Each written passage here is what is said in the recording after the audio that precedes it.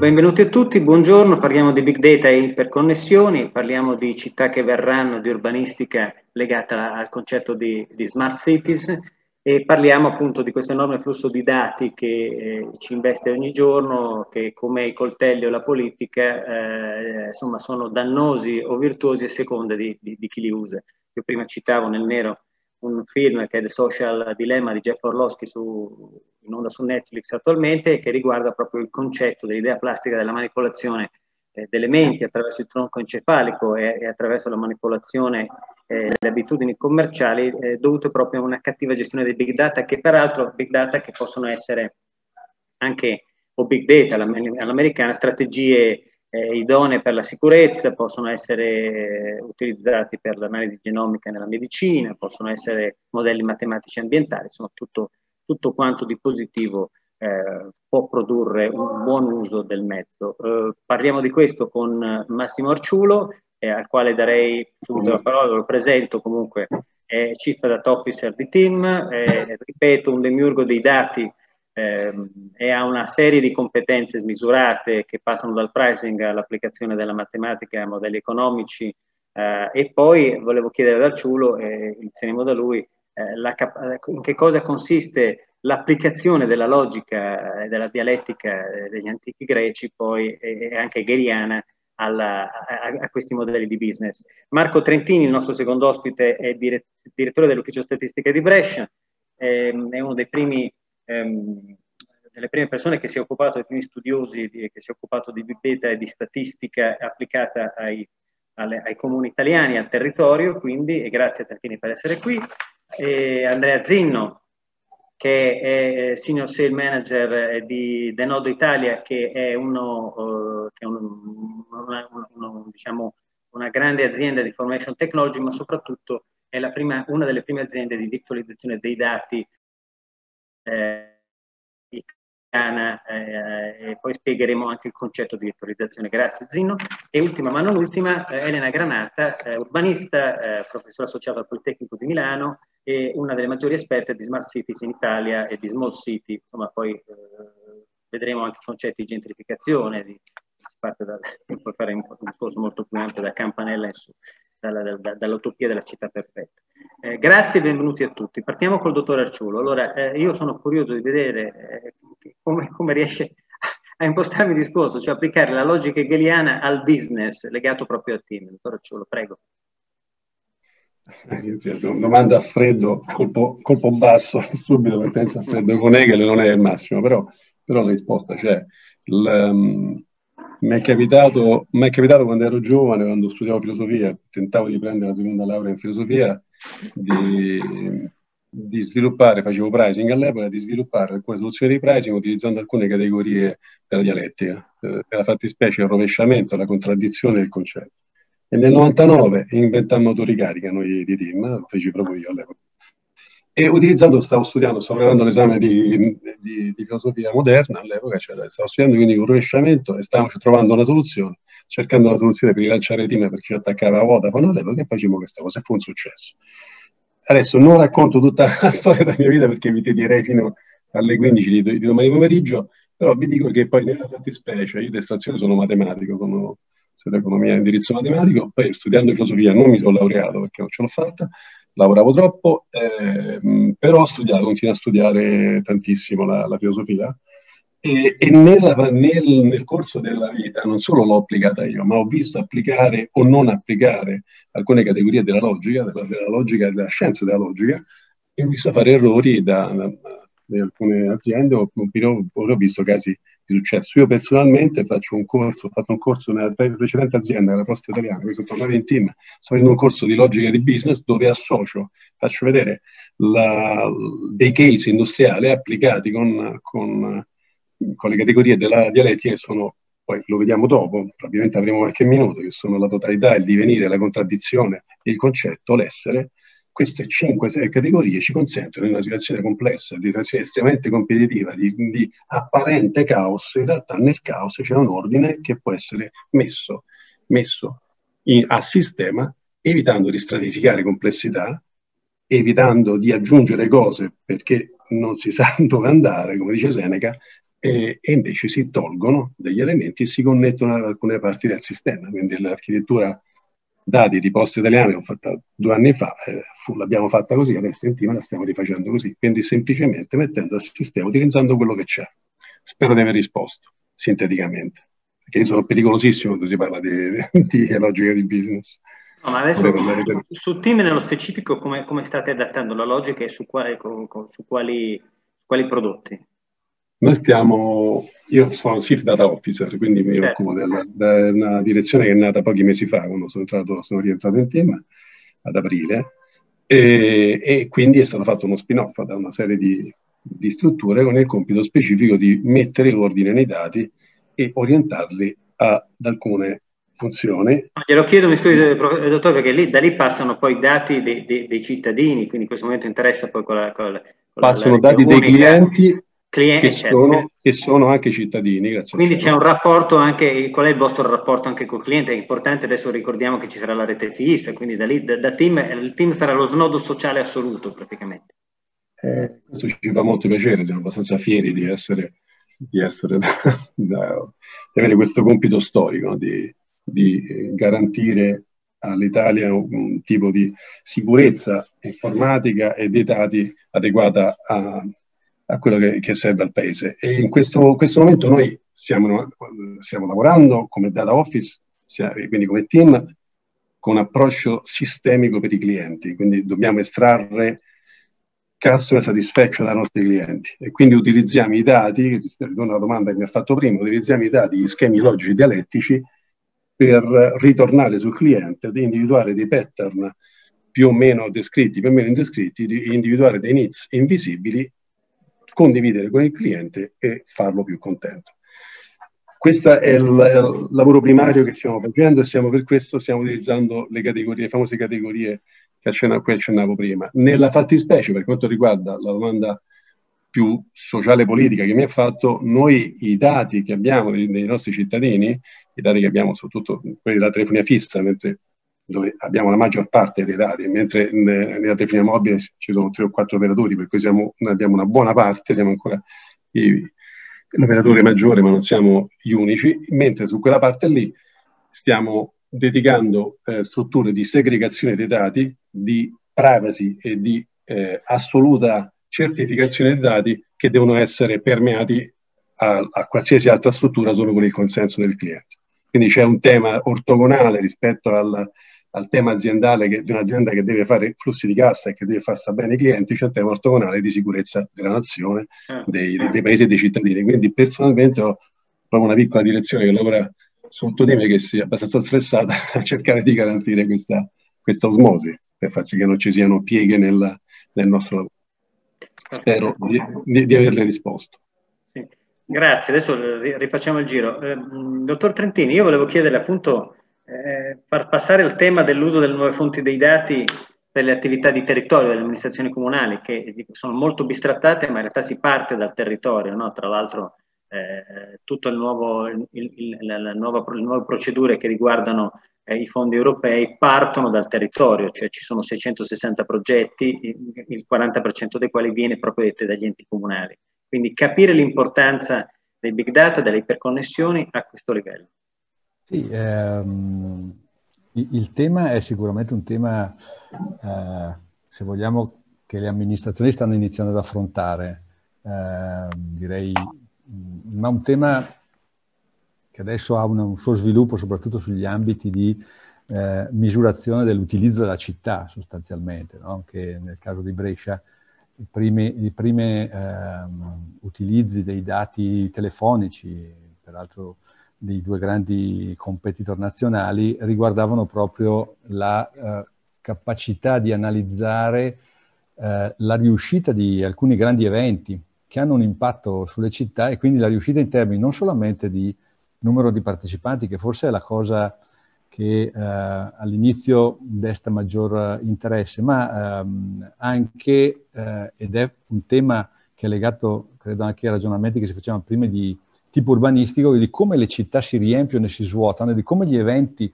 si costruiscono nel tempo e nello spazio all'interno delle città. Per, quindi c'è un inizio di interesse che ha come focus il tema, diciamo, turistico dei visitatori, ma io credo che in prospettiva su, su questo tema ci siano, uh, si aprono del, delle, su, sul tema delle, delle, nuove fonti, si aprono delle, delle, prospettive molto interessanti. Allora, le città sono via via infrastrutturate, ovviamente a parte la fibra, eh, la fibra eh, a casa, insomma, a parte quell'aspetto abbiamo la, eh, ormai in tutte le città medio-grandi anche in alcune più piccole eh, le ehm, reti di wifi, che sono reti che, con le quali si si può eh, interagire sia fornendo servizi, banalmente mandare comunicazioni a chi, a chi transita, sia raccogliere dati e, e, e eh, su, anche qui su come, eh, anche qui a livello microurbanistico, su come si muove la città. Sapere per esempio se le persone vanno da destra, si muovono lungo un percorso, per esempio faccio l'esempio di Brescia, dalla zona museale verso il centro o dal centro verso la zona museale, non è un'informazione banale in termini di programmazione di quella che è anche sia le campagne comunicative ma anche la capacità di gestione della città. Ehm, quindi le nuove le reti tecnologiche, dicevo, quelle, ho parlato di wifi, ma eh, sono in arrivo le reti a bassa frequenza per i contatori, quindi si apre il tema del metering. Eh, io mh, vedo quanto sta facendo per esempio a due Smart City vedo in particolar modo Brescia, ma in realtà poi anche in altre, in altre realtà, eh, che apre anche qui modalità di raccolta di informazioni eh, interessanti rispetto ai consumi, i consumi di acqua, i consumi di gas e così via, che sono funzionali poi a quello che è, e vengo alla seconda questione, a quello che è eh, l'utilizzo di questi dati, a cosa servono. Dicevo, le città devono affrontare alcune problematiche. Eh, oggi, diciamo, la maturazione dei, del, del, delle riflessioni e anche della disponibilità e della comprensione dell'uso di questi dati è rispetto al tema delle presenze e dei, eh, dei partecipanti. Di, intendo dire che spesso negli incontri che abbiamo avuto anche con le associazioni di categoria, eh, c'era una certa difficoltà nel capire come utilizzare, per esempio, i dati, di, di, i dati telefonici per dati che forniva che avevamo utilizzato al tempo era la griglia di, di, eh, fornita da Team, eh, una griglia molto, a maglia molto fine e con una uh, cadenza fine sia a livello territoriale che sia a livello temporale. C'è stata una forte difficoltà nel far comprendere anche alle, associazioni di categoria come si potevano utilizzare questi dati anche per programmare le, le zone, delimitare le zone commerciali, per esempio, e eh, programmare. Quindi le problematiche della città oggi sono queste, ma in futuro ovviamente ci saranno temi energetici non banali, ovviamente, eh, eh, e per i quali avere informazioni dalle, eh, che, che, transitano attraverso le reti eh, e direttamente dai singoli consumatori si possono raccogliere e elaborare diventa una, una strada eh, importante. Sui social potremmo aprire anche qui invece grandi, molti ragionamenti, perché quello è un altro grande tema che intercetta molto di più quella che è, come dire, la uh, capacità di comunicazione che, e quindi è un aspetto che la politica presidia in maniera molto, molto con, un molto, molto, interesse. Ma è anche un tema uh, importante rispetto a quello che sono la gestione, per esempio, de, de, degli eventi. Ritorno su questo tema perché è stata la molla che ha spinto poi l'amministrazione già dal 2013 a lavorare su questo tema eh, individuare quali sono per esempio gli hub all'interno dei, dei, vari canali social che costruiscono il consenso, l'informazione è per l'amministrazione una cosa molto importante. Noi abbiamo scoperto che, eh, per farvi un esempio, che sulla Mille Miglia storica, che è una grande manifestazione che ha un impatto sulla città eh, rilevante, gli hub erano esterni alla, al, al sistema che aveva organizzato l'iniziativa, cioè erano l'appassionato che aveva costruito tutta una rete di collegamenti e una casa automobilistica molto importante che aveva deciso di investire. Eh, quindi un tema che eh, diventerà sempre più importante, le reti diventerà più importante, si apriranno nuovi, se, nuovi ambiti al di là di quelli tradizionali che dicevo della, della presenza sul territorio. Eh, cosa serve? Cosa manca alle amministrazioni? Io, la mia esperienza è che alle amministrazioni manca una struttura interna che sia in grado di parlare con gli esperti che oggi si trovano nel mondo delle imprese e nelle università. Sono i due, i due ambiti nel quale oggi... Perché? Perché... Noi siamo qua, eh, quando vogliono noi siamo qua, ci chiamano. Voi con voi abbiamo già lavorato E, I, dati, I dati gliel'ho dati io, quelli che dicevo prima. Sì, dati, sì, sì, sì, li avete dati voi. Poi una, anche un'altra compagnia, ma eh, diciamo... Ah. Però, ecco, prendo spunto da questa, da questa battuta eh, del, del dottor Arciulo. Eh, le compagnie telefoniche, a parte la difficoltà oggi, non ho ben capito se i Rodata ce li forniscono, ma credo di no. Um, no, no, interessante questo. Eh, forniscono già e si stanno orientando sul mercato a fornire dei prodotti. No? Su MEPA, per esempio, troviamo i pacchetti già pronti di un concorrente che eh, nascono da, negli ultimi anni. Bene, eh, è, è, è, chiaro che eh, il pacchetto hanno costi non banali per un'amministrazione comunale anche di medie dimensioni. Ecco. Eh, è chiaro che ehm, non siamo di fronte a prodotti ormai già, eh, come dire, ingegnerizzati completamente. L'esperienza di alcuni grandi comuni, cito Firenze per esempio, è quella che in questa fase c'è ancora bisogno di un lavoro di taratura, per esempio, di alcuni modelli che vengono utilizzati. So che adesso, si, per esempio, sulla georeferenziazione del, dei, eh, dei, dei, device, eh, so che state facendo passi avanti sui GPS, sull'utilizzo di altri, di altri elementi, però diciamo, serve comunque una messa a terra di alcune cose e serve sì. soprattutto la capacità delle amministrazioni comunali di capire che cosa hanno di fronte. Questo si può fare, eh, cioè di non rivolgersi al, all'azienda chiedendo un prodotto, no? Spesso succede che l'amministrazione ha un'esigenza, l'azienda fornisce un prodotto, il prodotto viene acquistato, ma non funziona, nel senso che la, la, l'amministrazione voleva altre cose. Allora serve qualcuno, e io torno diciamo un po' eh, diciamo, eh, sui temi eh, tipici, essendo presidente dell'Unione Statistica dei Comuni Italiani, cioè che un investimento interno alle amministrazioni con questa funzione, non penso che oggi le amministrazioni comunali abbiano le infrastrutture tecnologiche e le, le competenze per riuscire a fare in casa ci avevamo tentato con i dati di Telecom, non ci siamo riusciti e siamo il comune di Brescia, cioè un comune che ha una struttura anche informatica abbastanza evoluta.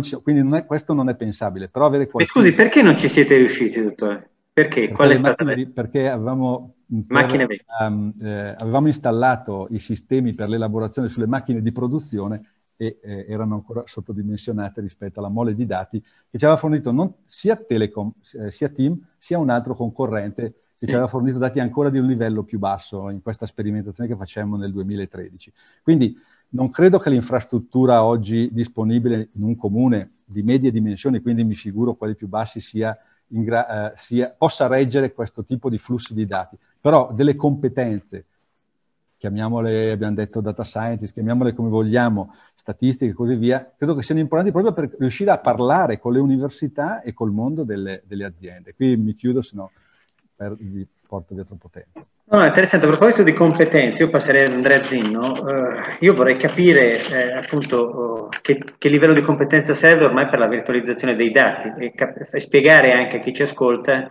che cos'è la virtualizzazione dei dati. E... Eh, sì, certo. Vol- eh. Volentieri, Francesco. E faccio solo un piccolissimo passo indietro che poi spero aiuti un po' um, a portarci verso il concetto della virtualizzazione, ma verso il concetto più generale di come usare i dati in modo agile, in modo veloce, considerando appunto, come dicevi tu all'inizio, che ormai i dati sono tanti, eterogenei e cambiano rapidamente. Uh, quello che noi vediamo spesso è che come dire, si, si, parla di dati forse trascurando un po' troppo certi aspetti che invece stanno diventando preponderanti soprattutto all'aumentare la velocità, all'aumentare del volume e della velocità dei dati. Eh, non parlo tanto di aspetti tecnici, cioè come connettersi a dati eterogenei che mh, per quello di cui stiamo qui discutendo sono fondamentali. Dopo so che si parlerà anche del, delle smart city, pensate solo ai servizi che si possono dare all'interno di una città, pensate ai servizi per la mobilità, che si devono, come dire, approvvigionare non solo di tanti dati differenti, ma lo devono fare in real time, non è pensabile no? che si forniscano servizi basati su dati anche di un minuto precedente, soprattutto su città caotiche e grosse come per esempio può essere Roma. Eh, quindi qui il problema non è tanto dell'aspetto tecnico di connettersi a sorgenti eterogenei, ma quanto eh, diciamo di rendere gli utenti consapevoli dell'esistenza di certe informazioni. Eh, se ne parla da tanto, quello che noi osserviamo è che spesso questa suddivisione in silos, come dicono gli americani dei dati, cioè il fatto che all'interno di un'azienda, soprattutto grande, in realtà il dato non, dire, non fluisca così come dovrebbe fluire.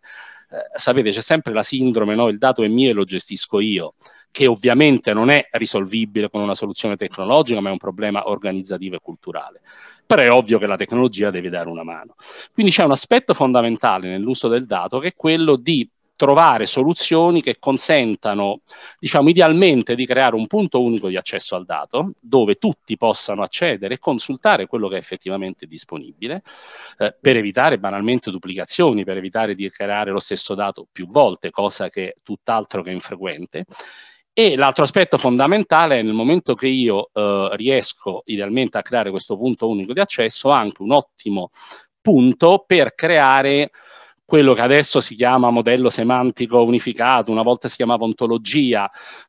Ora, quando parliamo di significato è un tema molto molto complesso, uh, si, si, si, vorrebbe no, oggettivizzare il, il, significato, in realtà sappiamo benissimo che ci sarà sempre poi una componente privata, non dico di ciascuno di noi, però all'interno di un'azienda che ogni divisione di business ha la sua accezione, eh, anche su concetti che sembrano trasversali. La possibilità di avere una tecnologia che consenta anche di centralizzare non solo l'accesso, ma anche di rendere evidente quali sono i dati a disposizione, come sono fatti, da dove provengono, qual è la logica della loro composizione quando io creo dei dati che sono estremamente complessi. No? Pensate a dati come cliente, prodotto, cittadino, eh, sono clienti che normalmente si compongono di tantissimi dati che, che provengono da tantissimi sorgenti.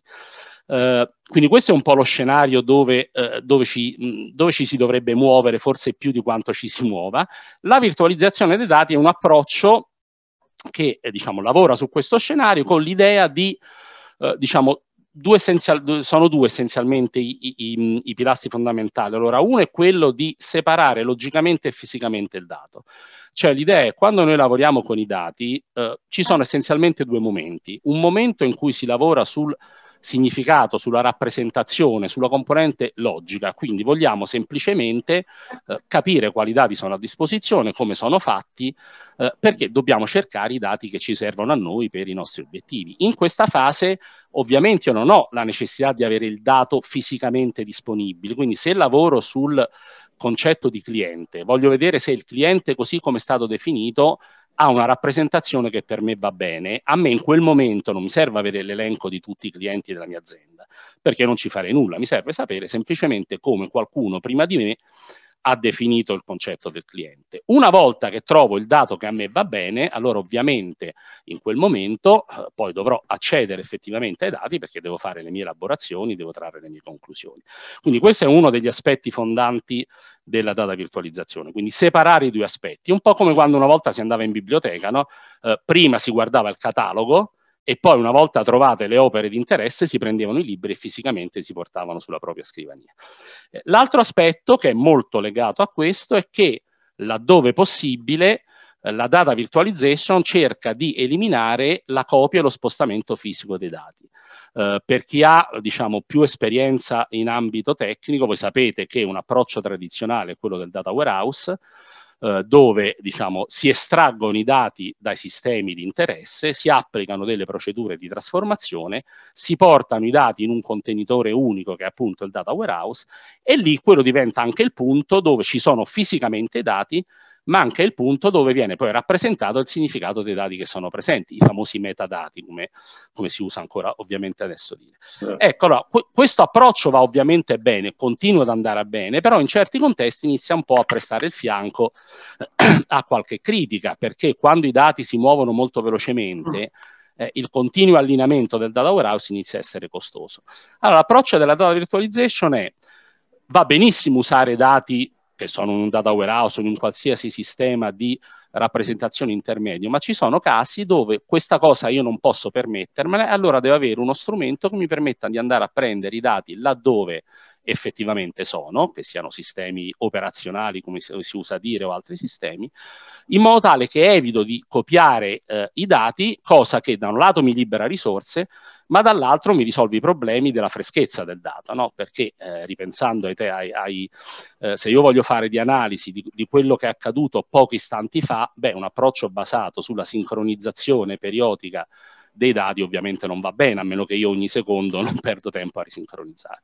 Quindi la virtualizzazione essenzialmente, riassumendo, è l'obiettivo è dare agilità alla gestione dei dati, eh, operare questa separazione logica-fisica e cercare eh, per quanto possibile, di ridurre, se non addirittura eliminare, ma credo sia un traguardo irraggiungibile, queste operazioni di copia e spostamento del dato.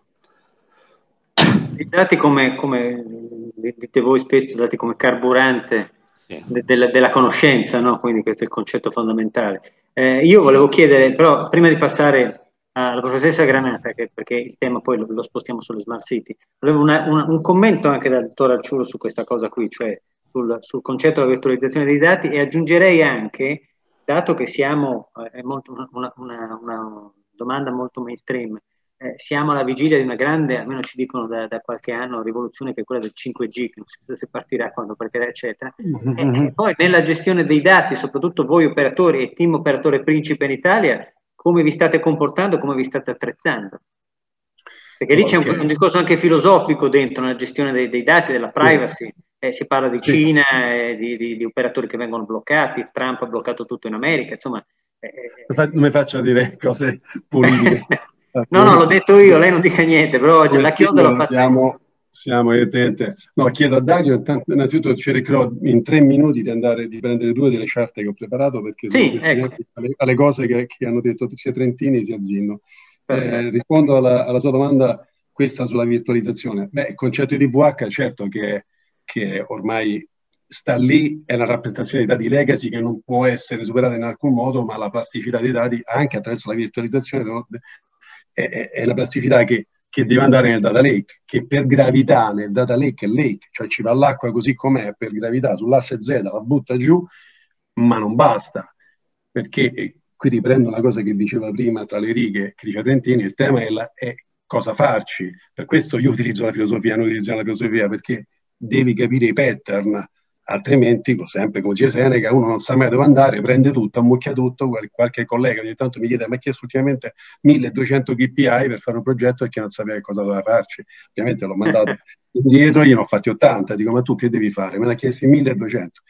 Quindi il tema è vedere sempre a salire, andare di astrazione, e, e, e quando Trentini diceva eh, dobbiamo imparare noi che cosa fare. Sì, la prima cosa è fermarsi sempre, fermo sempre tutti. No? I progettifici nelle aziende, come anche credo nelle amministrazioni locali, fermo i progettifici, sono il, nemico della, del fare e del, del, del, anche del fare errori, perché fare errori se è fatto una direzione è un errore sano. Il tema è, e poi ritorno sulle charte velocissimamente per dare una risposta, è virtualizzazione, integrazione, ma visualizzazione di un'idea noi dentro Team abbiamo fatto una, eh, dentro data lake, cioè abbiamo il DVH, il Data Lake, e sopra il Data Lake abbiamo messo una vista, un modello dati, abbiamo chiamato Genomics, un modello dati del cliente che va a vedere i genomi del cliente dove lì la parte human, cioè la parte platonica dell'idea del, del, del cliente viene materializzata, va in execution sulla scelta di KPI.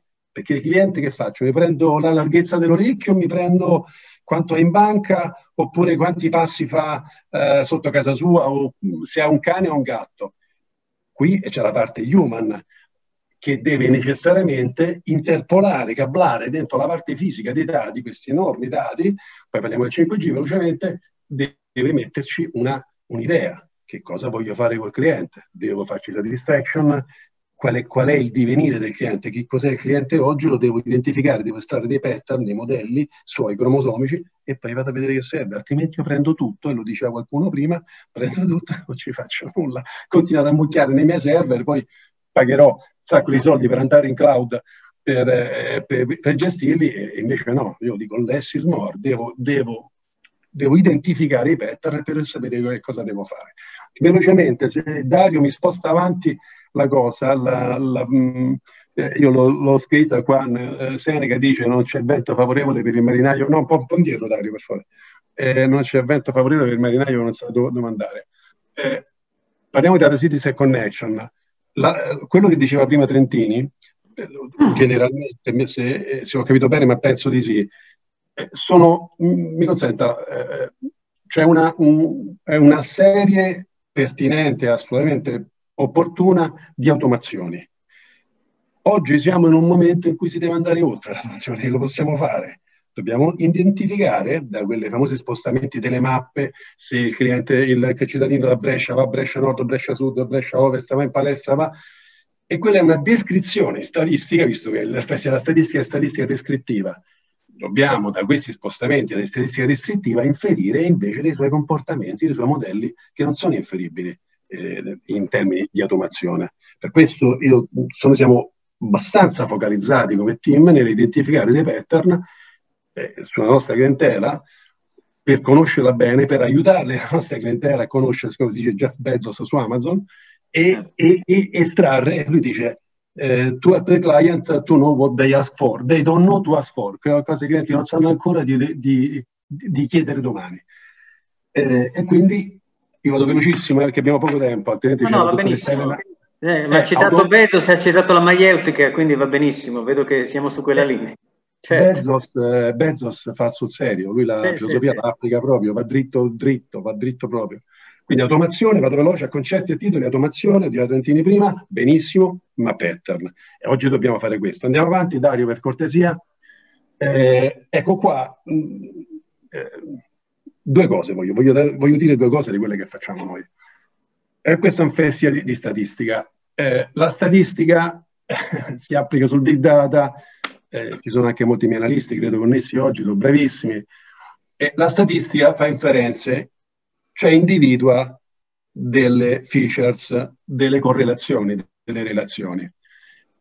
Nel mondi molto complessi, quando si è in possesso di moltissimi dati, nel caso delle cities, delle grandi città, si deve e si andrà, si va già verso questo contesto, prendere i dati, come dicevo prima, spero che si vadano con un'ottica specifica, con una funzione proprio platonica, un'idea di, di, servizio che c'è in mente, poi con questa idea si scende e si scelgono i KPI da mettere nel data lake, altrimenti ci va tutto e non serve a niente, ci va il tutto che, che, che non è un tutto, cioè manca il pensiero.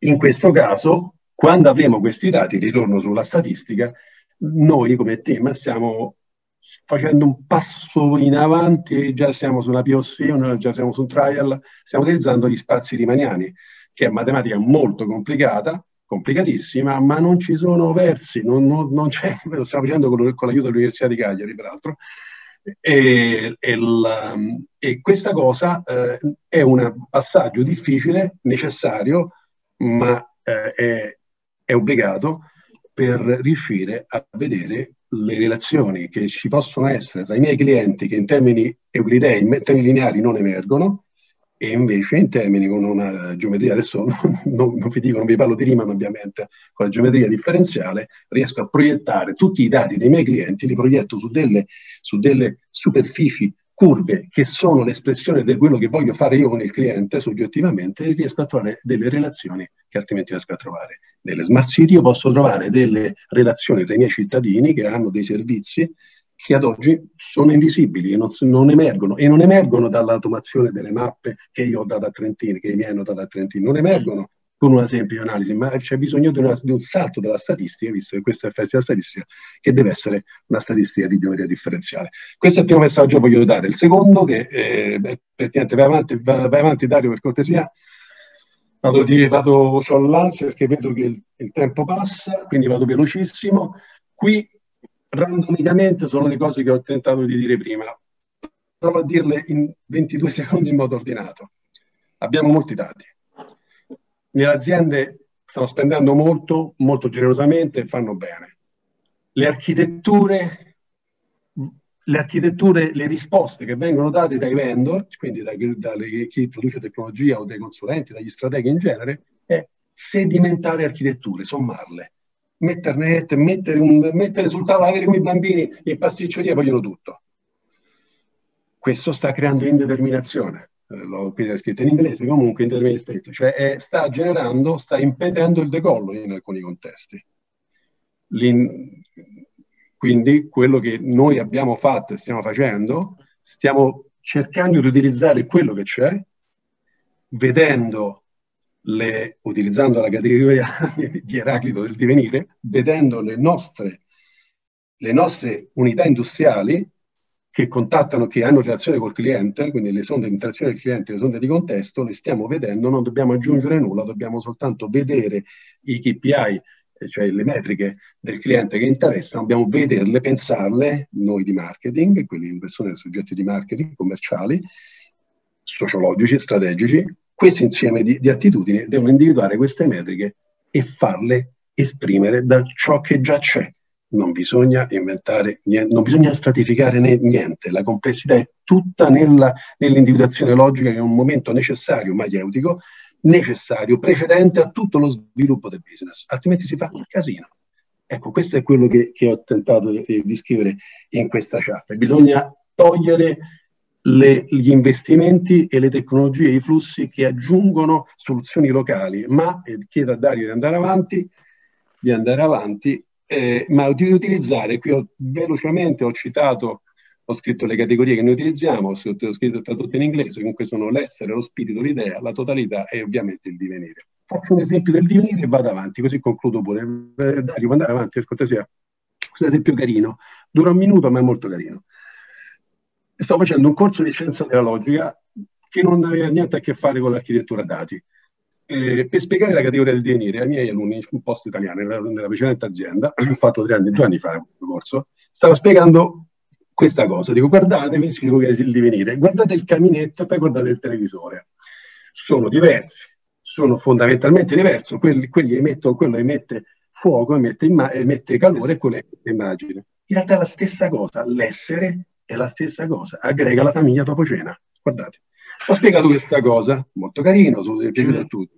Nel frattempo stavo lavorando sull'architettura dati e c'avevo il problema che accennavo, accennavo poco fa, mi, mi si ammucchiavano cose, mi si ammucchiavano cose da, e invece eh, ho detto fermi tutti, applichiamo il divenire, applichiamo il divenire nostre, nelle nostre unità e che diventano, sono già una unità che parla col cliente, una piattaforma Oracle che ingaggia il cliente o una, o una piattaforma Adobe che sta sul web e prende il cliente, è già una unità primaria di automazione, è già in sé, in divenire un essere, un'unità. Una, una, una, e come finita, dottor Racciulo? Scusi, la, la, la, perché, perché sennò non parla la, la professoressa Granata. Finito, dopo... ho, finito, ah. ho finito, ho finito. No. E, questa... alla fine i suoi studenti? Hanno imparato, ma soprattutto ci ho fatto l'architettura. Eh. Casualmente, proprio, io, Esatto. Questa, ho fatto l'architettura, quindi ho tolto tutto, ho preso le mie unità, le, ho, tutte le mie unità industriali, le ho elette unità primaria di donazione, ho fatto un data lake, ho preso i flussi, ho visto i dati, abbiamo fatto il data lake, abbiamo iniziato a fare inferenze. E la stessa lo stiamo facendo adesso in team, in team con un po' più di vivacità tecnologica. Eh, ecco, questo è l'esempio, è, è la risposta che, che, che, che, le ho dato quando lei mi ha chiesto all'inizio, ma come fa a utilizzare? Eccolo, con questo abbiamo risparmiato investimenti e sappiamo esattamente cosa fare. In quattro mesi già abbiamo fatto due campagne sui clienti fissi. Eh, lei, lei ha, ha, recepito anche delle, de, un insegnamento, probabilmente inconsciamente, io gliel'avevo già detto telefonicamente, di Luciano De Crescenzo, allora è, è tecnico, capo dei tecnici informatici, ingegnere informatico dell'IBM che applicava le stesse categorie. Poi in realtà De Crescenzo le, si è dedicata alla scrittura, ma insomma sono queste, sono sempre valide, lei dimostra che sono valide e applicabili sempre. Cioè. La ringrazio perché è molto, è molto, è molto illuminante. Professoressa Granata, eh, passiamo alla seconda parte del, del tema, eh, Big Data ma anche città che verrà. Come cambia, come è cambiata il concetto di small city e anche di smart city eh, con, con, con l'arrivo eh, imprevisto di questo Covid che ha travolto tutto e tutti? Quindi le città si sono ridimensionate inevitabilmente, non siamo più ai tempi di campanella, no? Assolutamente. Allora, intanto mh, mm, volevo tirare la palla a Marco Trentini che diceva quanto è difficile capirsi quando parliamo di questioni così tecniche, quanto la mediazione linguistica ma anche culturale sia difficile persino, come dire, in un piccolo gruppo come il nostro di persone peraltro dedite all'argomento. E questo voi immaginate moltiplicato per 8089 comuni che devono capire attraverso i dati che cosa decidere sui loro territori. Certo. E quindi la partita è complicatissima. E quindi quindi per non sottrarmi alla domanda aggiungo complicazione alla complicazione, che è questa. Urbanisti, sociologi e politici ci hanno messo circa 15 anni a capire che cosa fosse Smart City e quindi connessioni, mobilità, interazioni, intelligenza del sistema, eh, possibilità di, di stare da remoto, smart working. Quando ben ci sembrava di aver capito cosa fossero le Smart City, non capiamo più che cosa sono le city nel senso che negli ultimi sette mesi è cambiato il mondo, ci è cambiato il mondo davanti agli occhi. E quindi ci siamo resi conto che quell'assetto urbano sul quale abbiamo pensato le smart city, ma abbiamo pensato l'idea di welfare, abbiamo pensato l'idea di scuola, di istituzioni, di politica, di amministrazioni, ecco, in sette mesi è cambiato. Allora oggi mm, per chiunque si rechi, soprattutto in una grande città, in una grande metropoli, e la narrazione oggi su Londra, su New York, ma anche su Milano, in parte di, mh, mm, non, non, non comparabile anche Roma, ma pensiamo soprattutto in Italia a Milano, noi ci troviamo di fronte a un manufatto urbano straordinariamente sovradimensionato rispetto agli stili di vita. Che cosa significa? Una cosa molto banale. Per chi di voi arrivi a Milano ci rendiamo conto che ci sono troppi taxi, troppi, troppi, perché prima eravi, eravamo abituati a muoverci, a muoverci in tanti e a muoverci sempre e oggi la città si muove meno, si muove diversamente. Pensiamo a un dato che ovviamente in queste settimane, anche in queste tre sessioni di lavoro abbiamo commentato varie volte, tra i 6 e gli 8 milioni di lavoratori in lavoro agile o smart working. Beh, questo mm. ha significato in questi sette mesi, ma significherà anche nei prossimi mesi un cambiamento assolutamente radicale degli assetti urbani. Cosa intendo per assetto urbano? Come la città è fatta, costruita e funziona.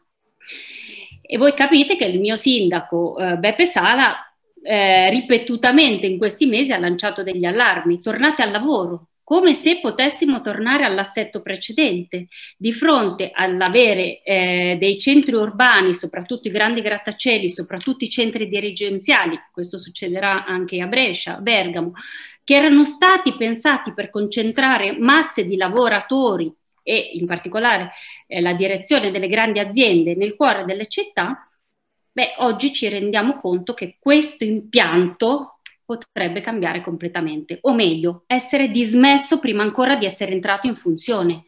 E questo è tutto il paradosso dei grandi grattacieli milanesi. Non li abbiamo ancora inaugurati e già ci rendiamo conto che quella forma urbana non più, non collima più con la forma dei nostri comportamenti. E allora la domanda fondamentale di questo essere sovradimensionato è proprio come se avessimo, immaginiamoci, parlo per un pubblico magari che è meno avvezzo alla tecnica, immaginiamo di avere un vestito troppo grande in un corpo che è dimagrito in un corpo che è dimagrito e che paradossalmente può vivere e abitare in ogni luogo, ma se può vivere, lavorare e abitare in ogni luogo, è chiaro che non sarà più un cittadino in senso stretto delle nostre città. E ribadisco, questo noi lo vediamo soprattutto nelle grandi metropoli. E la tragedia in questo momento e anche la domanda di senso di dove stiamo andando, cosa succederà, io fra un paio di settimane comincio l'anno accademico con i miei studenti e verosimilmente avrò un terzo degli studenti nell'aula e due terzi dei miei studenti ovunque. Possono essere al paese di origine, possono essere al sud, possono essere all'estero. Beh, voi capite che questo sta cambiando completamente l'idea di accessibilità, mobilità, turismo, persino i city users, quei benedetti city users inventati da Martinotti tantissimi anni fa, alla bicocca quelli che vengono in città perché in città trovano servizi, tempo libero, il teatro, e beh, oggi li vediamo meno in città. Eppure le città sono caotiche, eppure c'è confusione, eppure c'è un movimento scomposto di persone, di merci e di dati sui nostri territori che ci richiede ancora di più di essere interpretato. Cioè, paradossalmente, sette anni fa avevamo finalmente raggiunto una coincidenza astrale per cui ci potevamo intendere. L'assetto era quello, gli uffici, una città del terziario, grande mobilità, pensiamo cos'è stato la grande stagione del turismo, le grandi piattaforme di, di attrazione del turismo, Airbnb, Booking. Ecco, oggi noi ci troviamo di fronte al fatto che le persone si muovono meno, si muovono in maniera che ancora non conosciamo, dove va? Dove va chi va? Ecco, è chiaro che in questo momento produrre dei dati eh, che ci diano informazioni su come sta cambiando il mondo diventa cruciale per, grandi, per le grandi amministrazioni. E c'è un punto di domanda colossale che fa appunto eh, gridare alla città è finita penso appunto al mio sindaco, immaginare che improvvisamente andremo a vivere nei borghi, andremo a vivere nelle città medie, che ci sarà una riallocazione delle persone sul territorio e quindi che si portano dietro attraverso i loro corpi la domanda di servizi altrove, ma ancora non riusciamo a capire dov'è questo altrove, se è un pulviscolo di territori più o meno legato alla biografia individuale o se ci saranno dei comportamenti che portano fuori dalla città condivisi, traiettorie e quindi potrebbe essere la campagna prossima alle città, sì, come. Ecco, queste ovviamente sono domande che nascono dall'urbanistica, interpellano i dati e chi produce dati, perché oggi eh, penso che siamo ancora più desiderosi di capire dove va il mondo eh, e che però ci mettono di fronte a un smottamento delle nostre categorie interpretative. Ed è successo esattamente così vent'anni fa. Se voi avete in mente che cos'è stata la grande delocalizzazione delle fabbriche all'estero con l'esternalizzazione delle attività fuori dall'Italia, se avete in mente che cos'è stata la grande crisi industriale, eh, noi in grandi territori, penso a Prato, penso a Biella, penso anche a parti del sud, mh, mm, in parte eh, industrializzate, ci, so, ci siamo trovati da un mese con l'altro, perché anche lì il collasso è stato subitaneo, ad avere una forma della città mm. che non corrispondeva più con la nostra economia e i nostri comportamenti. Eh, ancora oggi noi, eh, se mi è capitato di recente di andare a Biella, territorio del tessile, voi avete questi dinosauri abbandonati che sono stati um, un pezzo fondamentale della nostra storia, la storia dei nostri distretti industriali e che sono ancora lì, sono ancora lì giacenti sul territorio e quindi l'assetto è rimasto quello, ma la vita di quei territori non è più quella eh, siamo di fronte, a, siamo alla vigilia di un cambiamento dal mio punto di vista pari a quello di vent'anni fa. Eh, e quindi un cambiamento che magari non vedremo tutto d'un colpo, che avrà eh, delle forme diverse. Eh, già lo stiamo vedendo sulla trasformazione minuta del commercio, eh, i tempi di vita, la pausa pranzo. Eh, dico cose banali perché sono banali ma eh, accessibili all'esperienza di chi mi ascolta. Eh, I grandi uffici chiamano con sé attività, chiamano con sé mh, mm, mo- mobilità di persone, eh, domande politiche il non muoversi delle persone chiaramente cambia le stesse domande politiche e pone alla politica la necessità di guardare lontano, di guardare lontano e, e mi rivolgo in particolare a Trentini, è difficile oggi capire in che modo, quali dati chiedere e in che modo interpretarli per dare una direzione a un mondo che naturalmente eh, ci sta cambiando sotto i polpastrelli. Um, Resta un problema che non è soltanto quello di comprensione dei fenomeni, eh, ma anche di utilizzo poi dei dati. Quando, ogni volta che mi sono misurata con le amministrazioni, ma non solo, io lavoro soprattutto in ambiente pubblico, in ambito pubblico, quindi è quello il mondo di riferimento, ehm, c'è un'iperproduzione di dati e un'incapacità di sapere che farsene dei dati, perché la questione è sempre essere guidati da una domanda e qui eh, ovviamente concordo con Massimo, è la domanda filosofica dove sto andando, che me ne faccio dei numeri, che me ne faccio dei dati. E allora ci sono dei dati che immediatamente sono comprensibili a tutti e ci sono dei dati che invece non ci sono conoscibili. Chiudo eh, e poi eh, magari passiamo a qualche altro argomento se ci sono delle domande. Eh, pensate che cos'è il numero simbolico, oggi più simbolico per Milano, che è la politica annunciata dall'amministrazione e da Stefano Boeri di eh, riforestare la città con un milione, anzi tre milioni di alberi. Ecco, questo è il classico numero simbolico eh, che non vuole dire niente dal punto di vista matematico, non vuole dire niente neanche dal, numero, dal punto di vista di quanti alberi riusciremo in dieci anni a piantare, ma il classico numero che indica la direzione, è il classico dato capace eh, di scatenare l'immaginazione, di prefigurare in che direzione potranno andare le nostre città. La ringrazio. Eh, dunque, a me sarebbe piaciuto continuare su questo discorso sul fatto di come reagiranno i comuni alla rappresentazione di, dei centri urbani come tante piccole nature morte industriali di Sironi.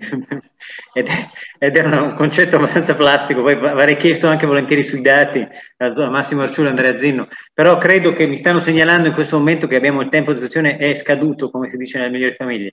Eh, vi ringrazio, credo che faremo, faremo altre discussioni di questo genere nei prossimi festival nelle prossime prossime conferenze. Estremamente interessante da parte di tutti e grazie, grazie degli interventi. Eh, ringrazio Marco Trentini, Massimo Arciulo, Andrea Zinno, la professoressa Elena Granata. Grazie a voi. E, e buon proseguimento e buon lavoro e alla prossima. Allora. Grazie. Grazie, grazie buon lavoro anche a voi. Grazie. Grazie.